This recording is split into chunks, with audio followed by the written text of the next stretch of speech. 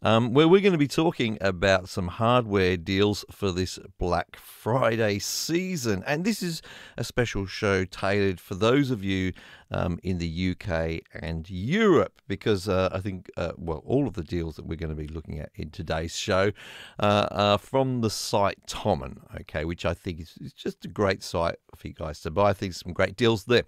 Um, hello to the people in the chat. Nice to see you here. Um, it's just great that um, I'm able to sort of do this at a different time and connect with different groups of people. Um, I did one, well, when was this? Yesterday. I'm getting confused about the time.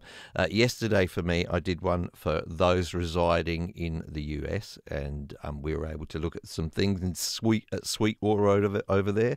Um, but unfortunately, I don't think Sweetwater deliver to um, the UK and Europe. So there you go. Um, now, you, are all at various different times over there. Um, it is 5 a.m. 5 a.m. in the morning. I woke up actually because I'm not one of those kind of people that can just sort of jump out of bed and be um, bright eyed and bushy tailed, as someone said earlier in the chat. Um, I, ha- I need time. So I actually woke up at 3:30 in the morning to do this. The dedication, I know the dedication, um, and um, it's actually a good thing because I'm planning to go fishing. I think at uh, 4 a.m. on Sunday, so I'm hopefully I'm getting my my body in the right cycle for that. Yes, I, I love to fish. Um, that's one of my pastimes. It's good to get away from the technology, actually, get a bit philosophical here, but it's it's good um, to do different things apart from music production. I feel anyway, um, things outside of actually just pressing buttons and what have you. Um, now we are uh, just a quick note on currency here. When we look at the deals in today's show, um, we are going to be um, talking in pounds pounds sterling. Now, the reason for that is, and I, and I, know there's many, many people from different parts of Europe. Um, the reason for that is mainly because, uh, in terms of my audience, the largest audience, as I was saying on my previous show, um, are from the US, and the second largest largest audience for in terms of viewing my channel are from the UK. So it's just going to capture most people, but the deals, the deals are still available in euros. So um, what what they'll work out to specifically, I don't know. But you can follow the links in the description. Oh, that's a good idea, isn't it? Hang on, while we while we're chatting away, um, I should actually um, uh, actually quickly update the description and put the links there. Oh oh dear. I've made a mistake already. Um, so a quick hi to some people in the chat. Um, say we've got Doug in there. Let me just find Doug. Where are you? Um, Doug, nice. No, always nice to see. I think you were here, Doug, weren't you, for the USA show as well? Um, is that right? That's that's very, very, very keen of you. So I'm just copying and pasting from my notes here. Da da da. Give me a second, guys. I'm just going to update. Don't just talk amongst yourself while I update the, the the links in the description. Da da da. Done. Right. Okay. Done that. Sorry. um, hi, Paul from London. I spent a lot of time in London um, when I was younger. I used to enjoy going there when I was a young teenager. Um, I had an auntie who lived in Harrow. Um, and I used to go and stay with her a little bit, and I used to love to go into central London and wander around a lot. Um, Love the Natural History Museum. I would go there. And of course, in those days, I was a bit of a fancy dresser, so I used to love to go to Carnaby Street, which, is a, which was a very important place for me with my funky fashions. And yeah, it was great. I, I, I um, the, the reason I've got this funky accent and, and I'm here in Australia is because I was actually born in Australia, although all of my family are English. Um, and uh, we moved, or the family moved back to um, England when I was nine years old. So um, lots of people do it the other way around. I went that way around. So I was sort of Australianized. I was considered myself Australian, then went and went straight and lived on the Isle of Wight, which is where my father had originally come from, and spent most of my childhood growing up on the Isle of Wight moved, uh, then escaped from the Isle of Wight and ran away with my band at the time when I was about probably 20 or so, and um, ran away and, and, and lived um, on what Isle of Wight is called the mainland, so mainland UK. And um, Travelled around with my band over there for a, few years um, before much later coming back to Australia in uh, around about the late 90s. Okay, so that's why I've got this weird and funky accent. Who knows? Am I Australian or am I English? Let me know in the comments. Okay, let's start talking about gear. It's Black Friday. It's time to buy stuff sensibly, I say. Don't just be buying stuff because it's cheap. Buy stuff that you couldn't normally afford and it's on a special deal and is going to be of great benefit to you. And I'm here to try to guide you in terms of you know what's going to be great benefit to you. Stuff that I've used, um, or there's some stuff actually in here that I haven't used, but I wanted to point you towards it because I think um, some of it's got such a great sort of reputation. Um, so yeah, that's uh, that's what we'll be doing. Wait, well, give me one moment here. Great. Okay, I'm ready to go. Technology 5 a.m. Oh, gosh. Okay, let's bring up my uh, and page here. I'll switch that on. There we go. I'm just going to rearrange things here. My system here does some strange stuff. I feel like I should be on the left looking at the page. There we go. So the first thing I've brought up here is SonarWorks. I noticed this was on sale for Black Friday. Um, this is their latest iteration of room correction. Um, and if you don't sort of know what this is and what benefit it would be, I, I think it's the kind of final piece in the jigsaw puzzle for your room um, sounding good for mixing. Okay. And the easiest way to think of SonarWorks is well the easiest way to think think of your room as an EQ okay it's an EQ which is boosting some frequencies and suppressing some other frequencies but it's unbeknown to you. You're used to hearing your room the way it is, so you don't really know that those frequencies uh, are being uh, changed in that way.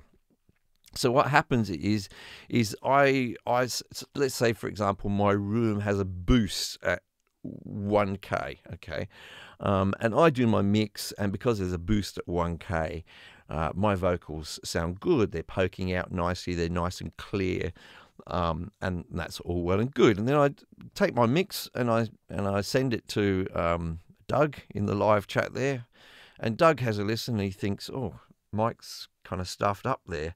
I can't really hear the vocals. Um, they sound a bit quiet, you know. And and so he sends me a message and says, Mike, the vocals are a bit quiet in that mix, and I say, Doug, you don't know what you're talking about. They sound fine and that's because I don't know that the, the room has EQ. So, so what SonarWorks is doing is measuring your room. It's finding out which frequencies are, are um, not where they should be, and then it's applying an EQ curve. It's applying an EQ curve while you're listening to your music, while you're mixing it. Um, and that's the advantage of it, really. And it, it's sort of taking care of the things that you're not aware of in that way. Now, in order to do that, it's got to measure your room. So the software part of it um, has some, you know, test tones which they, they play. Um, and it's got to be able to hear those test tones and know how they should sound at particular frequencies. So the other part of the equation is uh, having a microphone where it knows how that microphone um, should be hearing things at different positions in your room.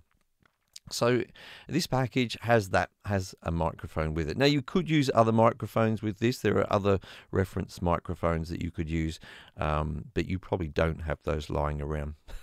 so um, this is you know these microphones are specifically designed for this purpose. I have tried to use it for other things. Um, I heard someone say, "Oh, they're great microphones for guitars and things like that." So I gave it a try, but uh, no, I don't think so. Um, but you know, um, it's going to be useful. It's not really. I thought when I first got it, oh, I'm not going to get a microphone. I'm going to use it once. It seems a bit of a waste, but not really. Um, as you do things like you get new monitors or you rearrange the furniture in your studio or things like that, you you find yourself having to do this again. And the process itself is um, this, this is one of the things where SonarWorks do a great job because there's other companies that do this kind of thing. Um, the, the process is wonderful. They've just really thought it out very, very, very well. So, um, so yeah, I think it's very, very cool. Um, so that's my first suggestion there. Now it's normally two hundred and twenty-two pounds, uh, but it's one hundred forty-nine pounds. That's a thirty-three percent saving. Um, it's not because I've got good math there. It actually says it, doesn't it? So, um, in terms of you know what you're getting, as I say, you're getting the the the software to actually listen to actually uh, kind of um, assess your room, which is really smooth. And then you get the software, which is applying the EQ curves. And you may have things like multiple monitors, so you can do this several times. You can apply um, several several um, uh, EQ curves. Just taking a comment here from uh, Michael. Yeah, like a multi-band EQ on the master bus. Absolutely what it is. Yeah, applying a, a, a, correct EQ. I must say it's disconcerting when you first get this because it can be quite um quite extreme actually. This the difference in the sound once you start to apply this to your master bus. Um, it's like wow, was I that far out? it makes you worried about all your old mixes, to be honest with you. Now, I will say about this though, um, it's not a magic fix for everything because there's more to a room than just the, the, the EQ influence. There's you know there's the reflections and things like that which can sort of mess with your mix in different ways. Um, so I don't think this is the first thing you should buy just because you've got you know really terrible monitors and a really and an untreated room. This is not going to fix that for you. Don't do don't waste your money in that way. Um, you need to have. I'm going to say room treatment, but I mean this in a very casual way. Room treatment could mean that you've just got a really well furnished room with some soft furnishing and some bookshelves and things like that. You know, so I'm I'm talking about you know making sure your room isn't completely bare um, and that you're in some way taking care of reflections and things. Uh, and you should have some decent monitors as well. So I would be room treatment monitors, and this is the final piece of the puzzle. But it shouldn't be the first piece of the puzzle at all. So if you're thinking that, then um, I wouldn't waste your money there. Um, so I think that's good for Sonar. Oh, sorry, I just one more thing about it. Ah, this particular package also includes the headphone element of it. Now, I was a bit um, sort of thinking with this, with the headphones. Oh, yeah, is that going to be useful? Because they, they, they can't listen to your headphones. Okay, it has to be done with profiles that they've already got existing. To my surprise, when I tried this, the catalog they have of profiles for headphones is enormous. Um, and I've got behind me somewhere, hanging on bits of the wall, you can see well, you probably can't see. Um, I've got something like 12 pairs of headphones hanging around this studio. Um, and they had profiles for all of them, all of my headphones when I when I tried this out. So I thought, oh, that's that was very cool. Um, so yeah, that's Sonar Works. Moving on from there. Moving on from there, what what have I got up next? Well, let's go to. Um, I've sort of wanted to look at audio interfaces and things of that kind, and I always think that these types of things are great. By the way, if you were watching the USA show um, uh, earlier, then there may be a little bit of repetition here, not completely, but I will for the I, I, I, imagine some of you were not watching the USA show and are not interested in it because it's not deals that apply to you. So I will be repeating myself just a little bit. Um, Doug may be one of those people. um, so um, I will, will be repeating myself a little bit. Now i w- I'm going to be clear to say that I haven't actually tried this piece of hardware, but I think it's a good deal um, and it comes from a company that, who I trust. I've used and owned several Presonus interfaces, and the, the interface is at the core of this package here, really. Um, 159 pounds, reduced from 197. And if you're just starting out, it contains the core of what you really sort of need to um, sort of get going with your home studio experience. So it has this interface, which is this Presonus one in here, the audio box one. Let's see if I can move the photos along to some closer looks at that. It's not very useful picture, is it, Thomann? It's a picture of a volume control. okay, let's go to the front. Okay, so you've got a couple of inputs here for your microphones, um, your you know uh, your line in if you want to use a quarter inch jack, things like that. So it's pretty straightforward sort of interfaces. These um, on the back. What's interesting with these because you've got sorry everything you need here. You know, 48 volts of phantom power, um, XLR, quarter inch jack, all that good stuff, headphones, and a volume control. Thanks, Tom. Uh, so the rear view here um, was just something I want to quickly point out to you. Um, apart from the USB connection, the, the main outs, it's got MIDI connections on here. So I mentioned this in my earlier show. If you're starting out and you've got an old MIDI keyboard, um, this may be a convenience to you. And there's there's many many audio interfaces um, at the moment don't have MIDI connections on them. I mean, there's there's ways around it. You can get USB um, to MIDI converters, but uh, you know, if you don't want to do that and you've got an old MIDI keyboard and you want to hook up some MIDI, they do have the connections on this one, which is handy. Apart from that, um, we also get uh, a condenser microphone in there, and probably a condenser microphone when you're just starting out is the most useful kind of microphone to have. Um, I mean, if you do happen to have something like, say, a lot of you may have, say, a Shure SM57 kicking around because you're a live performer and you've, you know, it's the sort of thing you'll have around. Um, then they can be used. Um, you can just get an audio interface. Um, but yeah, now there's lots and lots of debate about headphones and whether you should mix and, and on headphones. Um, and there's an argument to say that some of the packages where you get some monitors um, with them, some studio monitors. But I'm talking about monitors, I'm not talking about screens, I'm talking about speakers. And there's an argument to say that, that that's something that you should have. Um, over headphones, I probably disagree in the sense of that that um, cheap studio speakers uh, are probably worse than using headphones. To be honest with you, um, you you kind of need a bit of a budget to spend on some half decent monitors for your studio for them to be useful. Um, I, none of the really cheap ones I've heard are really worth using. I'd probably use rather use most headphones. So you do get some headphones with this to get you going, um, and as I say, the condenser microphone there. So great little package and a good deal. They've got um, almost twenty percent off there for that. So if you're just starting out, um, yeah, you'll be fine with this. This this will take you a long way. You can create um, great music with this. Um, and record vocals, acoustic guitar, all that nice kind of stuff. So that's a good sort of start. Now, along the same vein, um, and a little bit more expensive, in fact, but I wanted to mention it was this setup. So same again, um, headphones, um, you know, your audio interface and a microphone.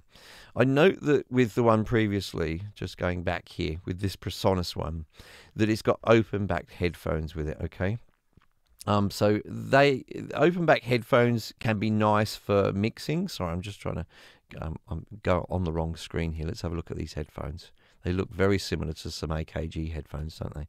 Um, the open back headphones are going to be um, good for mixing, not necessarily great for tracking. I'm not saying you can't track with open back headphones, but when you're when I say tracking, I mean recording. So when you're recording with a microphone, um, it's probably better to have closed back. So on this Steinberg deal, you are actually getting closed back headphones.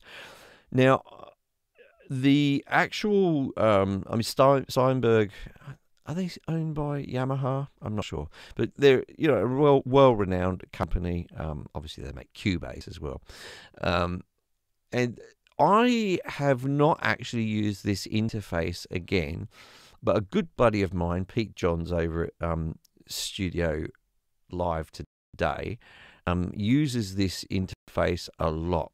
Um, and it's got a kind of a high spec actually for, for what it is, um, recording up to 192 kilohertz, which you'll never have to record at. I've, I, I've I never use that ability on any of my audio interfaces, but it can do it, can go if you like. Um, and really, uh, it's, it's rock solid. Um, it's clean. Um, very useful if you want to hook up as well to some sort of mobile devices. I there's many that can, but I'm not sure which ones can. But I know this one can. So if you want to hook up to sort of an iPad or something like that, this is what they call class compliant. Doesn't need drivers and things to operate. Um, so yeah, kind of good in that sort of way. Um, but again, with this package, you get those headphones. You get this audio interface and you get uh, a condenser microphone as well. Um, now, $199 is the price here. No, sorry, pounds. Got that wrong. Knew I was going to eventually. Um, £199 uh, reduced from £235. So uh, a pretty decent reduction there. If you're just getting started, it's a good way to go. Now, bear with me a second here. Actually, let me just have a quick um, drink of water. I'm drinking water. I, I had a cup of tea already cup of tea. That's the Englishness in me showing. And it was, uh, it's over here, what's left of it. And we do have Tetley tea over here in Australia, and that's my preferred. That's my preferred cuppa. Hey, Stephen Foster, nice to see you here. An old friend of the channel finally caught a Creative Sauce. yes, indeed.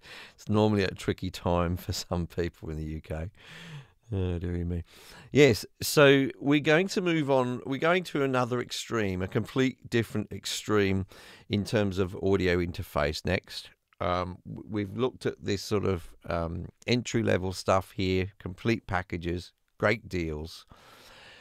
And uh, the first thing I want to say about things like these ones that we've just looked at, sorry, just reiterate myself. This this one here, the Presonus one, oh my goodness, control things, Mike. The Presonus one and the Steinberg one. People are going to think, well, yeah, they're cheap. Can you really record high quality music on them? Yes, you can record high quality music on these. I believe with these interfaces at this level, um, when you take time um, to learn your your trade, you can definitely. Uh, record to a really high quality, you know, a professional releasable quality. So why would you spend money um, on a much more expensive interface. Well, that's what we're going to talk about now. Let's go over and pull up this page here. This is a deal. So the um, Apollo Twin X Duo Heritage Edition. Okay, Whew. it's a bit of a mouthful, isn't it? Um, completely different price range. Reduce, good reduction here, because um, you don't often get a lot of big dis- discounts on Universal Audio stuff, to be honest with you. Um, they're not a company that is trying to compete on price. That's not their thing. Um, their thing is um, to uh, produce really good quality hardware and software. So, why would you ever go for this? Let's just bring it up to a bit of a different screen size. um, and and how am I qualified to talk about it? Well, I can't quite reach because it's plugged in, it's hooked up. But I have um, one up from this, the Apollo X4. And if you're cynical about this, the whole thing, then uh, I can share that cynicism. I was cynical about this until I had one. then I was like, okay. So, could you produce as good a quality music on those cheaper audio interfaces? Arguably, yes. But the degree of effort you will have to put in to get there and the experience of doing it is different. There, there may also be a slight difference in the quality of things like microphone preamps. I, I do think that that's slight in terms of the way you perceive it. Because I, I think mostly when people listen to a song, they listen to the song, they don't listen to the preamps, yeah? Um, but the preamps and things on this are good. But the experience of using it is exceptional routing, all of that kind of stuff is very good. People don't talk about this enough with uh, a universal audio stuff that the um, the sort of mixer and the way you can reroute things is is really smooth and it makes sense and it works very powerfully.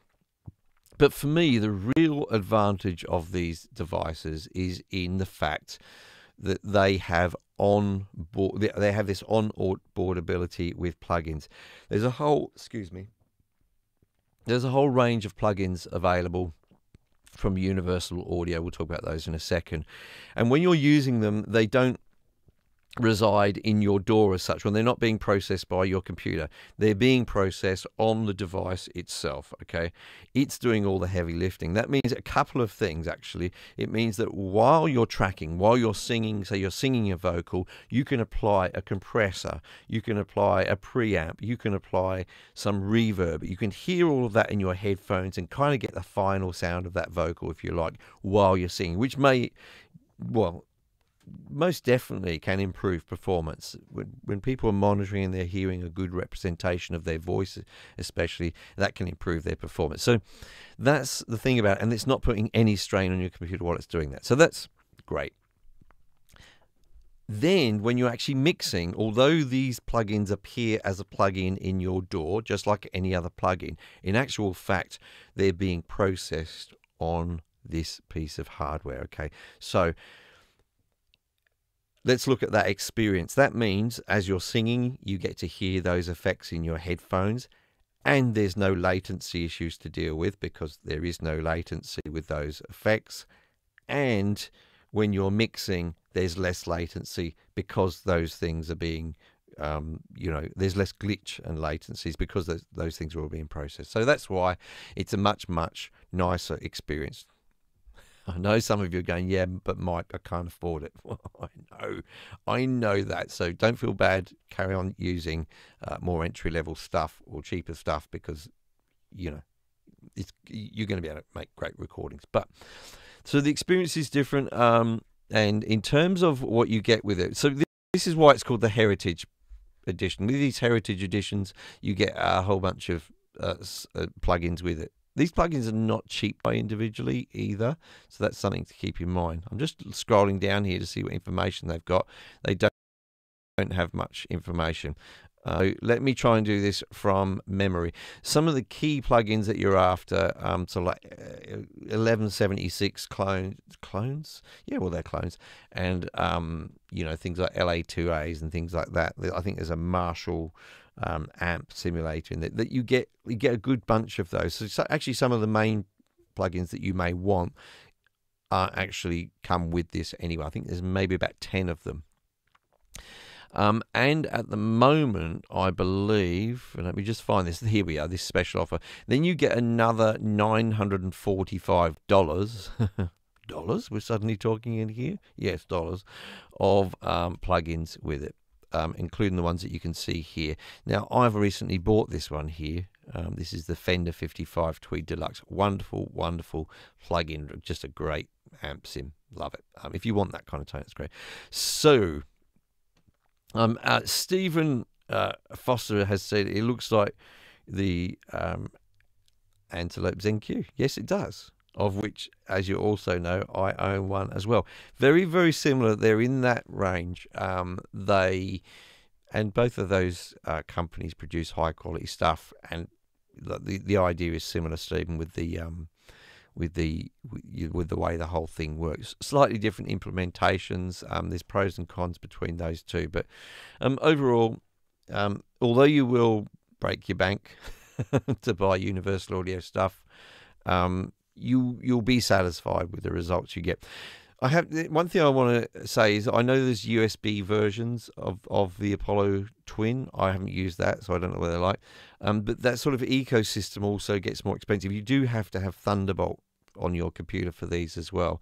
Um, Thunderbolt uh, on PCs is I've the last two PCs PCs I've had have had Thunderbolt. Uh, there seems to be a sort of an old urban myth going around that um, it's so terrible on PCs to use Thunderbolts with Universal Audio stuff. But my last two PCs worked fine, just no issues to be honest with you. Um, so it's just one of those things. I think it's a little blown out proportion. Um, but yeah, consider that. Moving on from there, I was hoping to find studio monitors for you guys. I was hoping that in um, these deals that there would be some studio monitors that I could talk about, but there wasn't. Sadly, sorry, Thomann. If you're watching, Thomann, um, I couldn't see anything inspired me. There's not that there wasn't any there, but the ones that are in there. Mm, mm.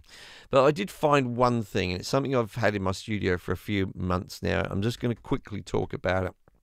And this is um, this. It's a subwoofer, the Adam T10S. Um, it's got they've got a not a nine percent reduction on it at the moment. Let's just bring that up there again. I'll do the shuffle.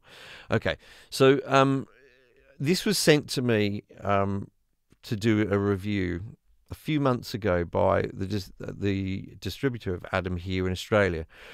Um, Federal Audio are the distributors over here, and, and they represent Adam here in Australia. They sent it to me, and uh, um, this is not one of those situations where I just get sent it and I get to keep it, by the way, or anything like that. It was sent to me, and um, just try it out and see if you like it, and tell people what you think. So, I, I was sent to me, and, and I thought, you know what, I don't know. I don't think I need a subwoofer because I've got um, eight inch drive, uh, you know, main monitors, some Adam ones here in the studio, and I'm not in a big studio, by the way. I don't know what the dimensions are exactly, but it's not a huge studio. So I'm probably pushing it a little bit already with the eight inch ones. Anyway, and I was skeptical, not because I thought it was going to be bad in any way or anything like that. I didn't really know. I was skeptical. I just thought this is not right, and I even said to them, "Look, I'm not sure that it's right for my studio to have a subwoofer." Um, but they said, "Oh, we'll have a look anyway." They're clever. They're clever. Uh, so I got it and I tried it, and I was like, "Oh gosh, oh no, oh no." I don't know how I'm going to live without this now. It took me about an hour to come to this conclusion. Um, and definitely there are probably circumstances where um, you really probably shouldn't have a really really tiny room. I probably wouldn't have a subwoofer, but um, what I sort of understood about it, I guess, is that it's not necessarily uh, making um, the low end louder. Like I guess that's what people think of in home studios when they really, sorry, not home studios, home theaters, for example, when they have subwoofers, they really want to you know, when they're watching that Hollywood movie, they really want to feel that bass. They kind of probably amp it up a bit, and they want everything everything to vibrate. That's not the way you're going to use it. All this is doing is extending that range down lower, lower, lower, so that you actually can hear it. Okay. So um, I will tell you, just as a little side note, um, I didn't end up being given this at all. I had to buy it, and I did buy it and it wasn't in my budget, but I stretched my budget because I was so impressed with what it did. And now, again, it's one of those situations where I, when I bypass it, I think, wow, I was really missing information there. Now, you, you can counteract this, I think, with headphones that go down really, really low. That may be a good idea if you really want to hear low end. Um, because you do have to be careful with this. I they did it did come with a guide about how to set it up, and, and I followed that guide in terms of the position of where it is. I know that sorry, just in case people are going to jump on me for this, I know that um, sub or, or bass, I should say, or low end is not is is not directional, so it doesn't really matter where you point it. But in terms of distance from walls and um, and and its relationship to um, your other monitors, so you're avoiding things like phase, for example. So you know, if because if you think about it, if it's a meter in difference away from your ears compared to the to to your main monitors, then those frequencies are going to reach your ears at different times. So you could get phase issues. Yeah. So I hadn't really understood that before, um, but yeah. So I I won't press that anymore because I know it's a, of limited interest to people. But yeah, three hundred and £25 as opposed to £359. Just a nice time to pick it up if you want one. Um, it's certainly, uh, it's, it's very true, uh, Stephen. Uh, washing machine is smaller than that. um, so moving on from there. Um,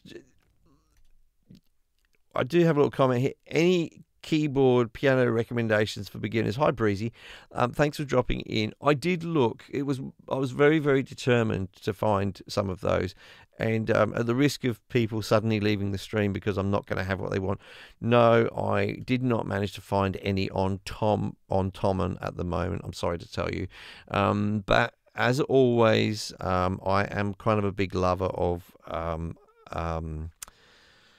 Would be good if I could remember their name. Arturia stuff. Um, so if you're looking just for a small one to start off with Breezy, um, check out the Arturia KeyStep 37. I say that with authority because I have one and I still use it, especially when I'm doing sort of more mobile stuff. Hey, Chris, nice to see you here.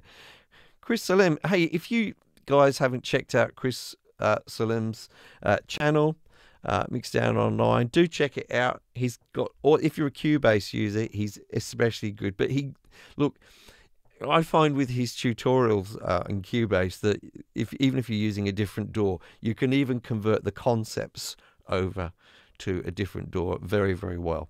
I mean, I, I, think it's always worth checking out other channels where if they're not using your DAW. Um, and uh, Chris is, I've just, just tell you, Chris has become a friend of mine.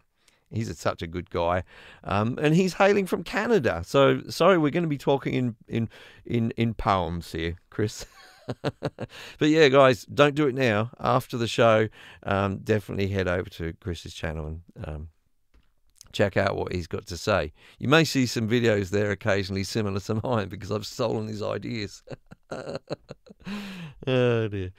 I often say that to Chris. I might steal that idea, Chris. So there we go. Yeah, um, that sub is great. Now, moving on, we're going to work through microphones here. Microphones. this may be a surprise to some of you. I I like to try and find microphones which are well priced to get going with. So we've got a few microphones to go through it in very different price ranges. So first of all, this one. When I saw the price of this, um, wow, I was like, twenty pounds. sounds cheap to me. sounds very good. So if you're just starting out and you need a condenser microphone, um, and you're really strapped for cash, and I just want to say here, I, I never want to talk as if, you know, spending hundreds of dollars on something is just nothing. I've spent much of my life dirt poor. And if you're a musician, you may understand this experience.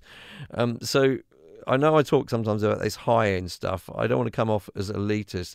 If you can't, if you just don't have the money, maybe you're a student, maybe you're unemployed, maybe you've got a young family um, don't feel bad about that. You, you, know, we, we go through these times in our lives, and you need to buy things on a budget, and you know that they're not going to be as good as um, the more expensive stuff, but you want to make music, and you should. Um, and the reason I'm bringing up this one particularly, this Behringer C1 here, is because I have actually used it. I did have it uh, many years ago. It's been around for a long, long time. This microphone. Um, and it served its purpose as a condenser microphone. I will say, in honesty, and I don't know about the current version, I will say that um, it's it's kind of not as quiet. There's a little, it can be a little bit of uh, noise with this one. Um, compared to some other microphones. It's I don't want to overestimate that. It's just there. It's just there a little bit. And later on, when you buy more expensive stuff, you go, "Oh, that little bit of noise is gone." Yay! But you know, eh, honestly, in in the thick of a mix, it would could be well. It could well be something you you wouldn't even notice when there's a whole bunch of other things in there as well. So, um, so I definitely think if you're just getting going, you need a microphone. Then this would be a a, a, reasonable option. But that's for me is if you really are strapped for cash and you're working with a budget and you must be very, very strict. If you don't have to be quite as strict, or you've got a few extra pounds or euros to spare, then I would go to this microphone. This is the Audio Technica AT 2020. I have, um, I mentioned this before in previous videos. I did do a blind shootout with this microphone and two others, the NT1A and the uh, SE Electronics SEX. SEX1, the sex one, as I like to call it. Um, and um, I did a blind shoot uh, earlier on the early on the channel. And this was the cheapest microphone of those three and in a blind shootout by people who watched the videos, um, they all picked this one as their favorite sounding microphone. I tried it. Um, we did exactly the same performance, male and female vocals, um, and it's seventy-seven pounds. Okay, and I will say, just comparing the two, and they're a bit, bit of a different price, aren't they? Twenty pounds up to seventy-seven pounds, um, and this is not a Black Friday special, by the way. I just wanted wanted to mention it.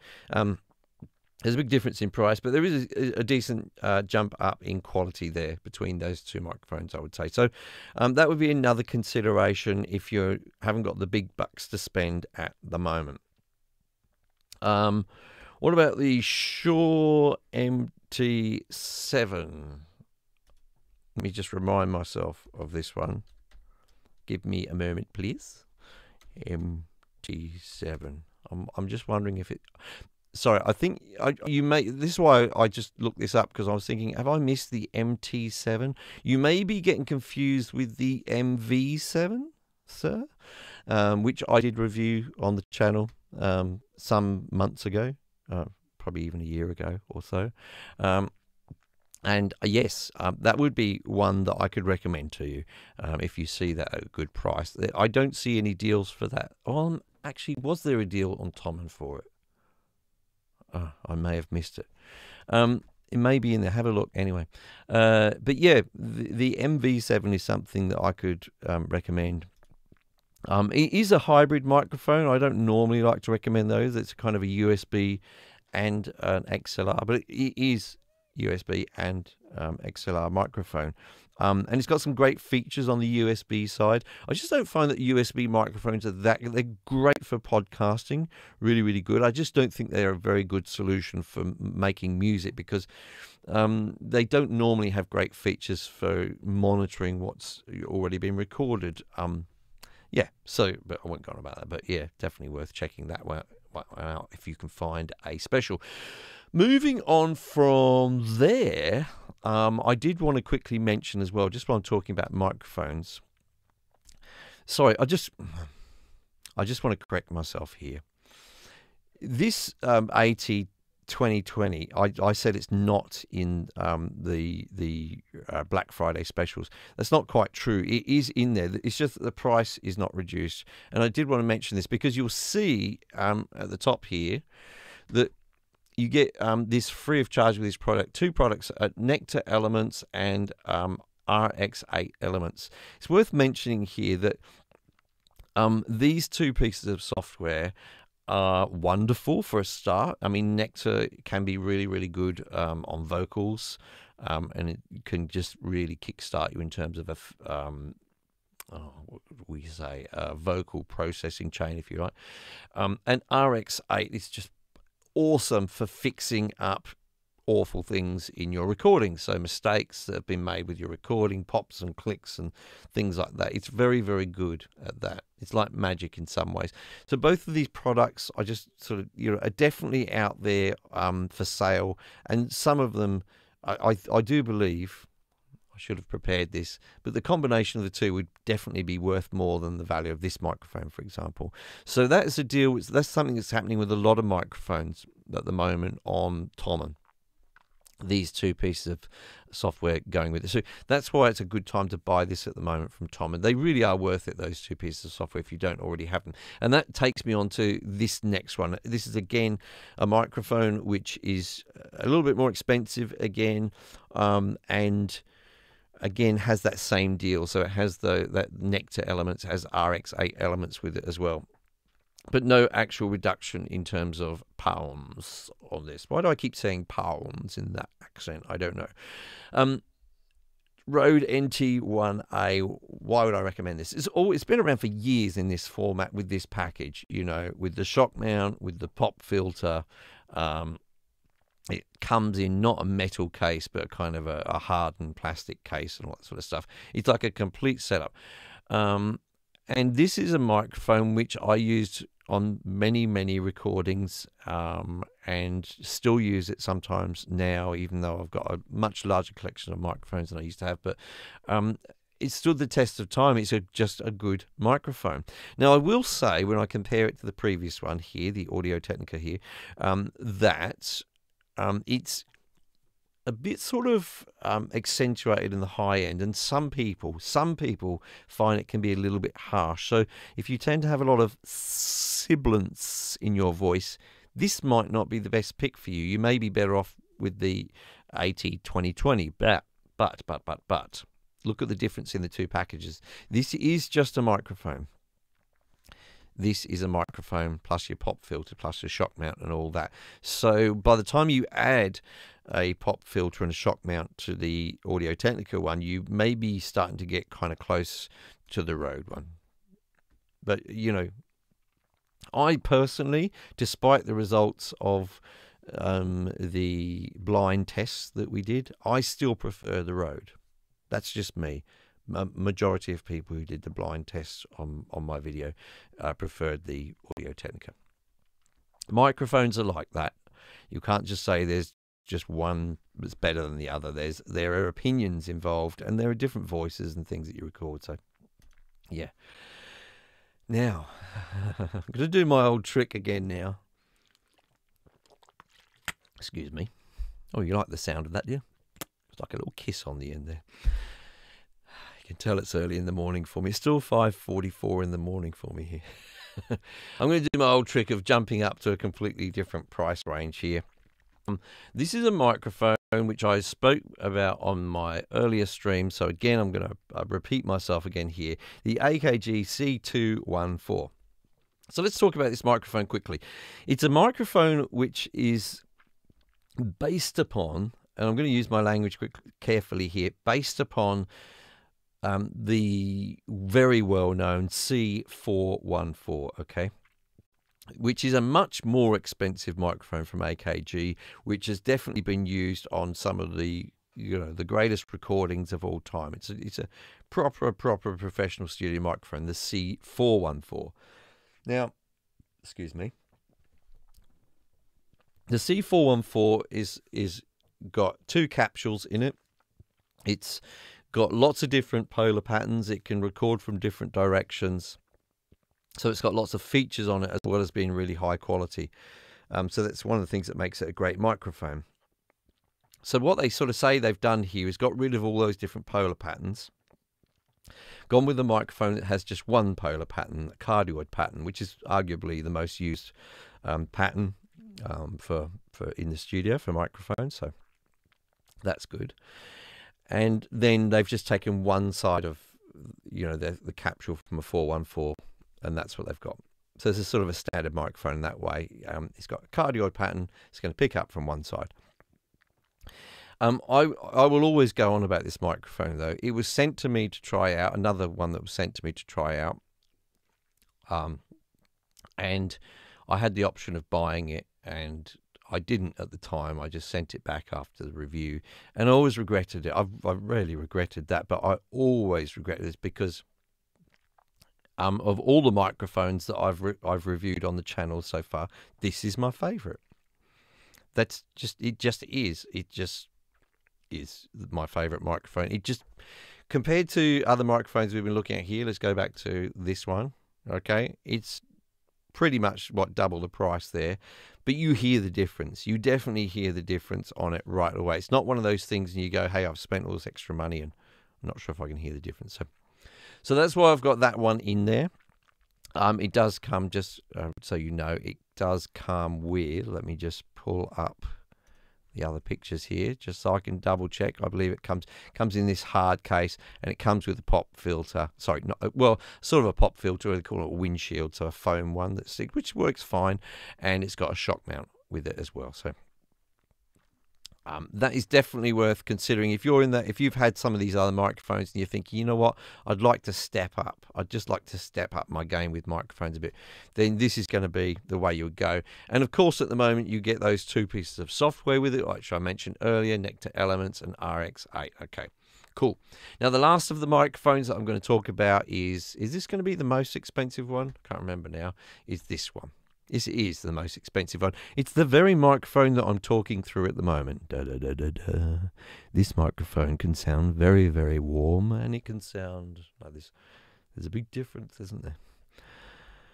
Why have I got an SM7B? I've probably had it for a year now or so it's a very hyped microphone, not in terms of sound, but it's hyped on, on, on the internet for the last couple of years. It's been around for donkey's years in, in one form or another.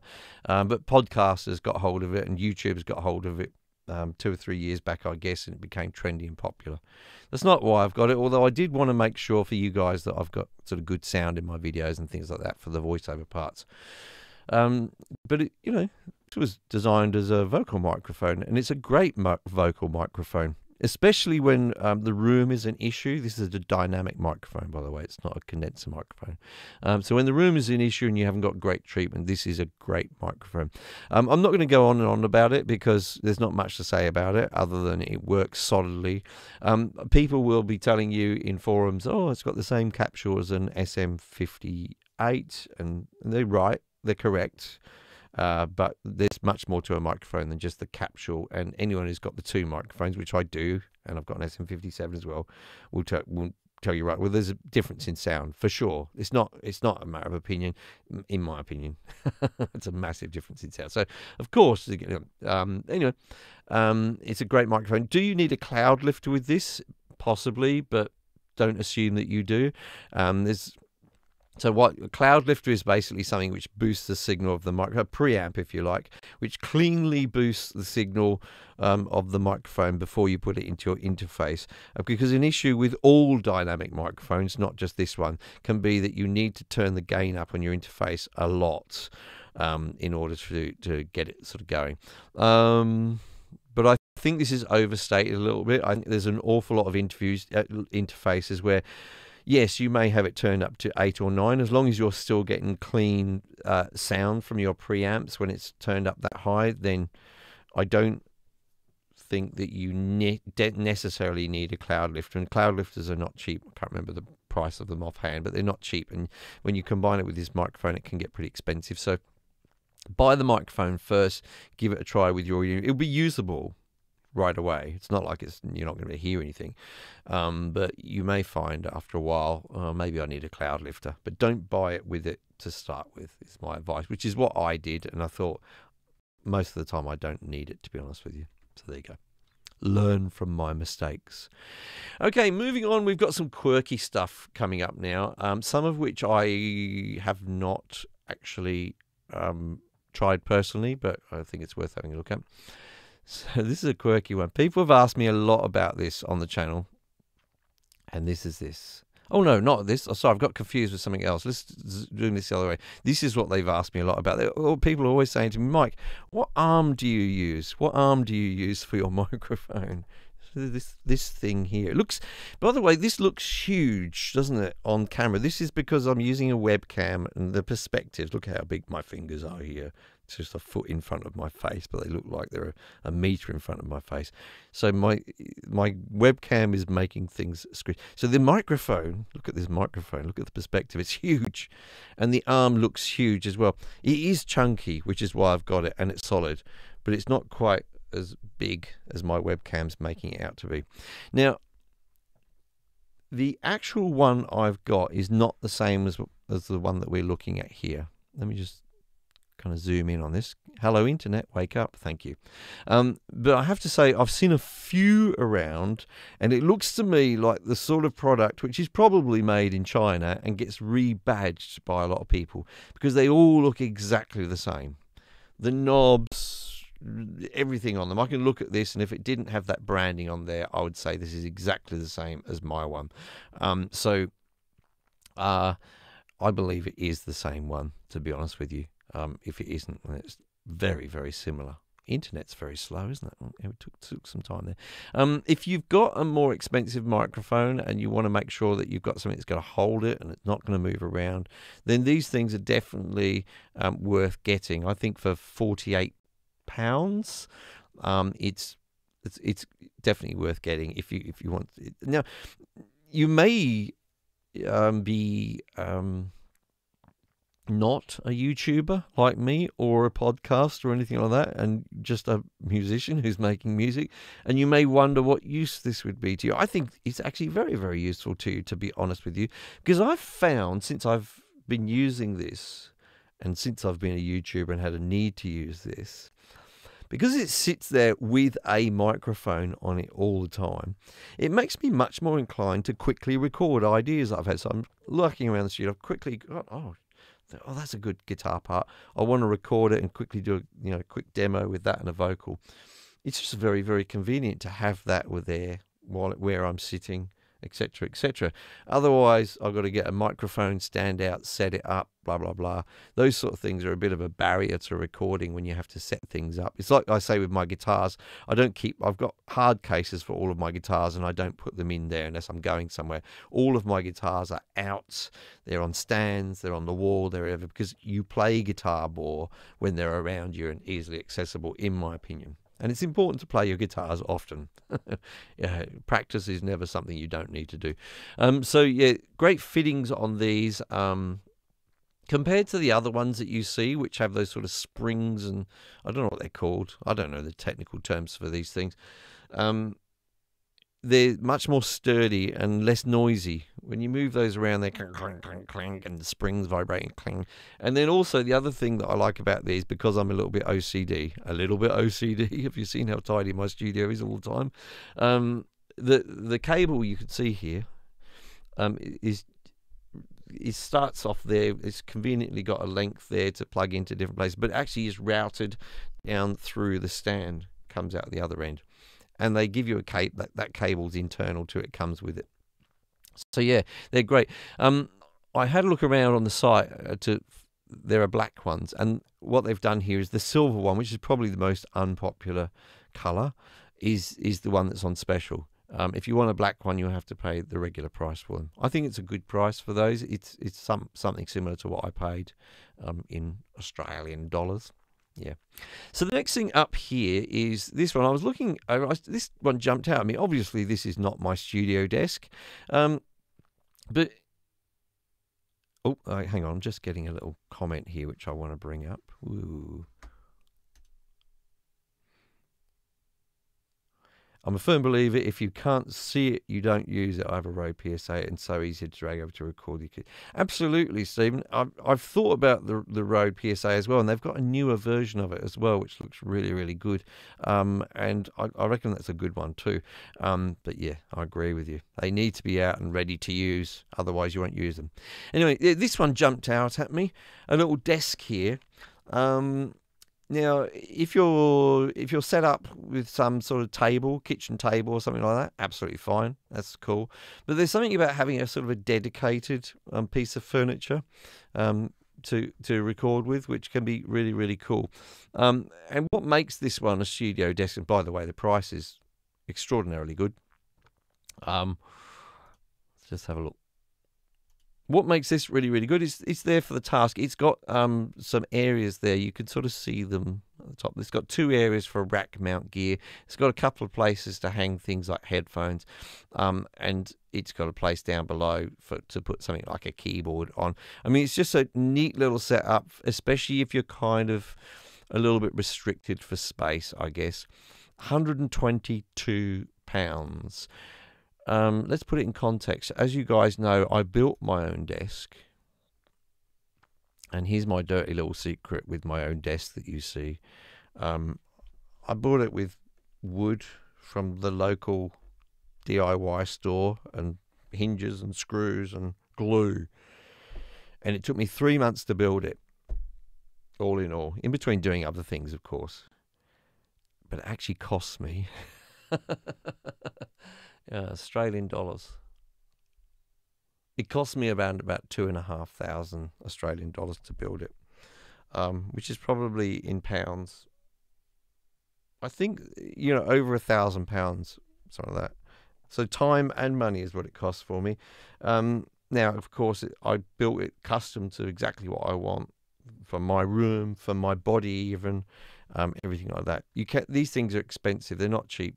Um, studio desk. So uh, for 122 pounds, it may not be absolutely ideal, but I think it's um, I think it's great to be honest with you. If you just want a little dedicated um, thing. Now, what I would say with this is what I would pair it with, and I haven't got any specials for you on this, but what I would pair it with is some monitors on stands. Um, it looks to me, from looking at this, if you tried to put your monitors on top of it, so you had a when I talk monitors, I'm talking about speakers, by the way. But if you had your monitor as your screen in the middle there, and then you had uh, speakers either side, it looks to me like they'd be positioned way too high because these racks that they've got for, for rack mounted gear are quite tall here. So, yeah, I would probably go down the route of having on stand. I, I prefer speakers um, on stands anyway. Um, I, you don't get they basically don't vibrate down through your furniture, so um, it's, it's better to have them on stands. Um, so you can you can get isolation pads. I know I'm a little bit skeptical about those, um, but yeah. So this combined with some speaker monitors, sorry, with some speaker stands. What am I talking about? Um, then I think you'd have an almost ideal setup. So good stuff there, worth looking at. And I know that Nick Ellis, g'day Nick, is tempted. I think I've seen a photo of your desk at some point, Nick. Yes, yes, I, I'm pretty sure I have. And yes, I think you should buy this desk. but I haven't actually tried it. So if it falls apart on you, it's not it's not my fault. Sorry, I've tried to be clear here. Oh, Twenty percent off. I'm sure it's well worth it. Okay, moving on from there to something else I haven't used. this is not good, is it? But something I'm going to recommend anyway. Um, this is a uh, an Art Pro, so um, a mic preamp here. Um, Art or ART, um, as uh, they may or may not be called. Um, I think are they a Canadian company? Could be. Not quite sure. Can't remember now. Um, but anyway, they are just renowned for making um, outboard gear for your studio at a price which doesn't break the bank. You know, we're always being told by um, audio elites how much better hardware is, and then we go and look up the price of hardware, and uh, and then you go, oh, okay, it really is for the elite. Um, especially when you look up sort of things like LA2As and things like that. You've probably got, you've got the plug in. You think, oh, maybe I should get the hardware, and then you go, no, I won't get the hardware. Um, so ART stuff is not like that, but uh, it's it's very reasonably priced. But you will see it in Pro Studios. Um, if you look at some of my videos, I can't point. Can I turn it around? I don't think I can turn. The, let me try this. Oh God, this is a mess up, isn't it? Somewhere over there. I can't really point my. I've got an ART um, voice channel, which is a. I haven't done a review on it yet. I've had it for many many months, um, and it's awesome. I'm so impressed with it. The quality of their gear is very very good, um, and so that's why I'm looking at this because if you want to sort of step up from the preamps that are in your audio interface, this could well be a good way to go. Now, I'm going to encourage you to look at other reviews before you make this purchase because I haven't actually used this.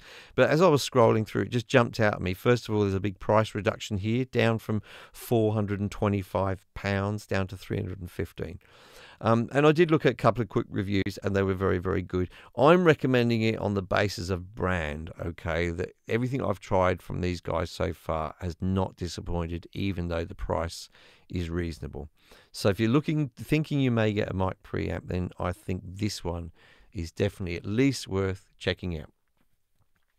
Now, moving on to something completely different for my final pick from Thomann. By the way, I forgot to say, if you are in the chat right now, the live chat, somebody was trying to remind me earlier, Doug, could you hit the like button for me right away? Do it right away, and that will make sure that other people come and watch the replay, which would be nice. Um, they'll get to see these great deals as well. The links are already in the description down below. Please follow them. This is not. This has not been sponsored by Thomann Tom and don't know that I'm making this uh, video at all. Um, but the links are obviously affiliate links. So I will get a small commission, but it won't affect how much you pay at all. So there's nothing added um, in terms of what you pay if you follow that link. And um, if you do that, um, thank you in advance for that. It's a great help to the channel. And also thank you for liking, as Reg already has. What a great spelling of Reg that is. I like that. So moving on to the final thing, it's something I do have in my studio which I've never reviewed, but you may have noticed it here and there. And I want to talk about it because we can do a little educational piece on it while looking at it. This is on special at the moment, and that is the Vox AC10C1 Custom. Oh, um, this is something I probably got about a year or so ago now, I'm guessing. I went to my local music store. I was trying out a lot of amps in this vein, um, and you know that that included mostly uh, Fender amps of a similar price and a similar size. And this is the one I went with. Now that's going to be a personal taste thing. I was I took my guitars with me, so I was using my Gretsch and I was using my Strat, and they both worked, in my opinion, really really well um, with this amp for the sound I wanted. And that sound is really quite a classic uh, Vox sound. It's hard to describe. Um, just much like Fenders, I guess there's people describe it as having a bit of a chime. But what I wanted was there's many many amps around that you can get at the moment, um, with, and you know, some of them include simulations of some kind in them, you know, of, of different things, which are probably very useful. But I didn't want that. I wanted a basic, straightforward amp, which was a tube amp. So I wanted that natural sound that you get with some nice warm tubes. Um, and I wanted to mic it up and get that authentic sound, which I do and I enjoy and I love. Now, the problem the, the, I think the mentality, if you're thinking about buying a guitar amp for the studio, your mentality's got to be a little bit different. Because if you've been buying it for um, live performance, one of the things you've probably been thinking about is being loud enough to be heard by the audience and to get that kind of sound um, that you want. The only issue is, and it's just, I'll interrupt myself here, it's wonderful to see my good friend and fellow YouTuber Dan from Lonely Rocker here I think many of you in the live chat will be familiar. If you're not, you need to check out his channel. And I'm not surprised he's chimed in with a comment on tubes because he is a lover of tubes. Uh, me and Dan have discussed this a bit. Um, and I have to say, I did. I remember having a conversation with Dan about this actually. That I was always a bit skeptical about people who sort of went, "Oh, you know, they can't emulate tubes with guitar sims and all that." Uh, and then after I sort of got this amp, then I went, yeah, absolutely, hundred percent agree. It's just one of those things. Um, I know it's just one of those things that once once you once you've heard it, you hear it and you go, yeah, that's definitely true. Uh, it's, but having said that, I'm not, you know, these things are budget orientated. Not everyone has the ability to go out and buy these things. Um, and um, can amp sims let's put it this way: they can change the sound so that you've got a different sound, and it might be a sound that you like. Let's put it that way. Are they accurate to actual tubes? Not quite, really, when you compare them, to be honest with you. But they can still change the sound of your guitar. I mean, especially if you're just plugging straight into your interface. You've got to use some sort of simulator of, of and if you if tubes are like you know the sound you like, then go for the amps. But anyway, um, so let me talk again about the, the mentality of this. So when you buy amps for a live situation, um, you're going to buy something which is going to be able to project often out, especially if you're playing, you know, in local sort of clubs and things. Um, but in the studio, for most of us who live in normal houses, something like, and Paul Paul's in here in the chat. Good day, Paul, talking about his AC30. And you've said exactly, it's very loud, very, very loud. Um, they now the issue you're going to have is in order to get the sound you want from some of those amps, you do have to get the gain up pretty reasonably loud. And there's two, you know, circuits in these. There's in terms of there's two different utilizations of the tube, two different stages. And you kind of probably, to get the sound that most of us are looking for, going to have to get both of those stages up a fair amount. At which case, at which point, as soon as you do that, you've got complaints from the neighbors, you've woken your children up, your partner now hates you because, especially because you've played that guitar part 25 times in a row. Um, so yeah, you know that's that's the issue. So really, um, and my thing is is that so for the studio, what you want to be looking for is a less loud amp, which you can then drive and get some tone from. If that makes sense. Does that make sense, Dan? Have I said it in a good way? Perhaps Dan could explain it in the chat in a better way.